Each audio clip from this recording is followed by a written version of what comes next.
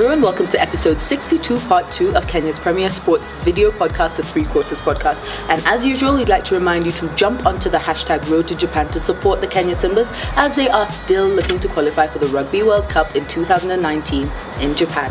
I'm Demima Duffield. Welcome to episode 62. I'm Ngaro Kamuya. So we start off with Badman of the Week Yep. from our feature game, which is Impala versus Quins. Now we had previously discussed, and I said mine. I was so torn. Yeah. And you're like, ah, you'll pick by the time. I have not picked. oh my gosh. Really? Yes. So two people.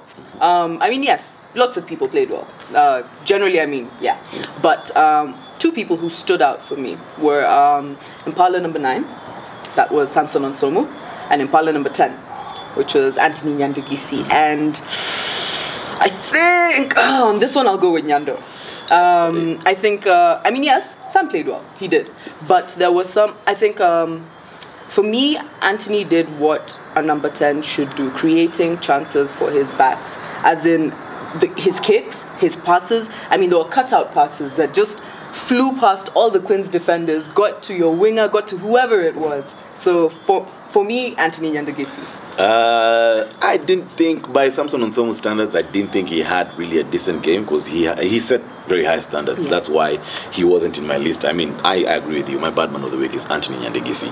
At number 10, as I'm telling you, he was coming up against Isaac Ademo. I really didn't think he was going to be able to measure up to Isaac Ademo, taking into, into account the fact that uh, Isaac Ademo is a starting 10 at Kenya. Yep. But Nyando uh, had a very brilliant game, and his last and his try.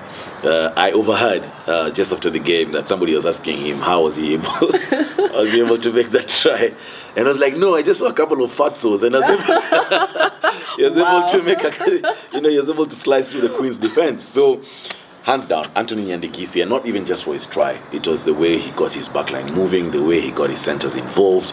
Uh, Ishmael Mukaya. Uh, all of a sudden had a decent game, you know. George all of a sudden, wow.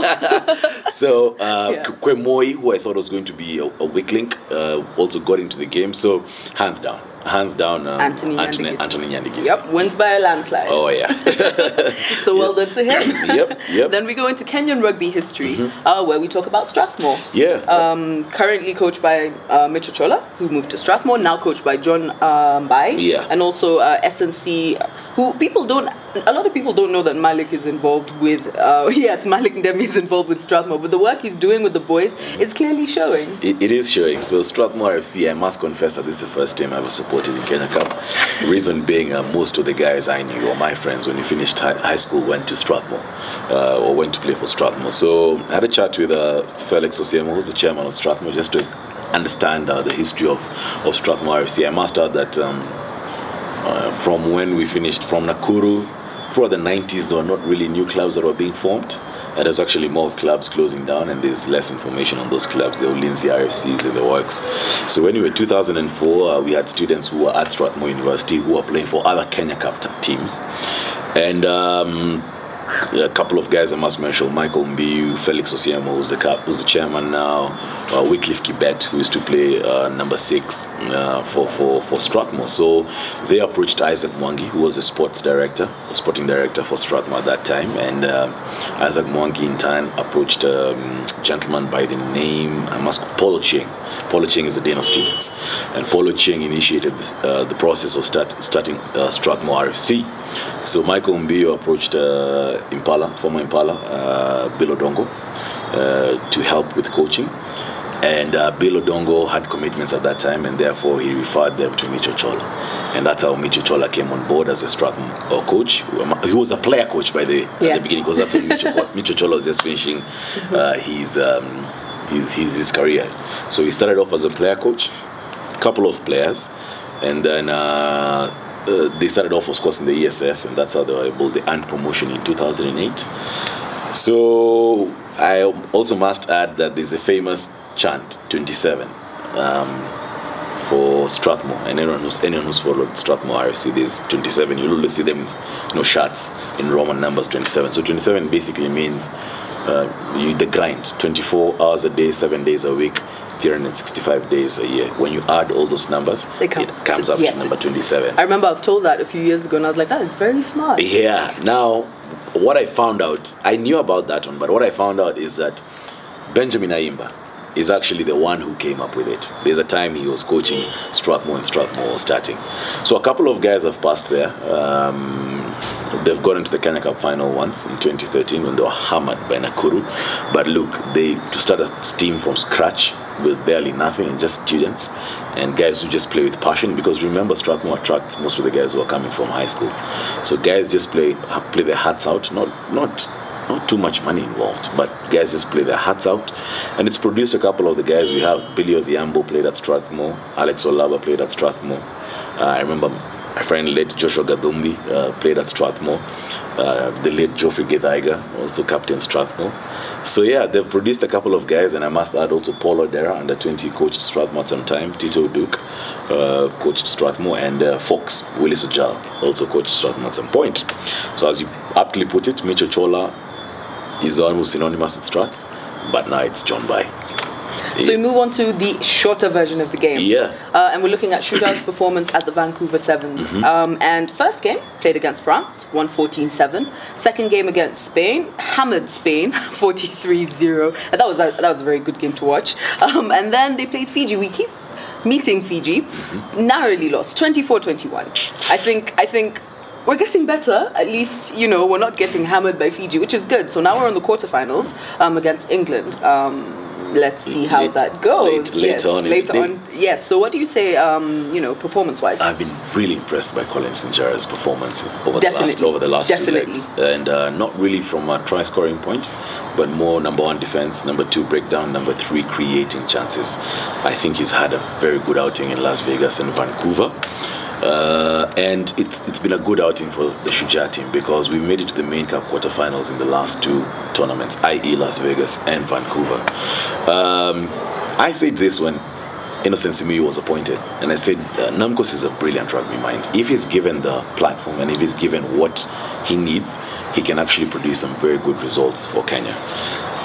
I took a lot of slack when I made that comment. I can imagine. I can imagine because I've, I've, I've been one of the people who stood by Namcos from the beginning, Yeah. and I'm like, look, with all the things he's facing from the union, I think he's doing fine. He's, do, he's, he's doing pretty good, and I took a lot of slack uh, when I made that comment, but we can actually see what's happening.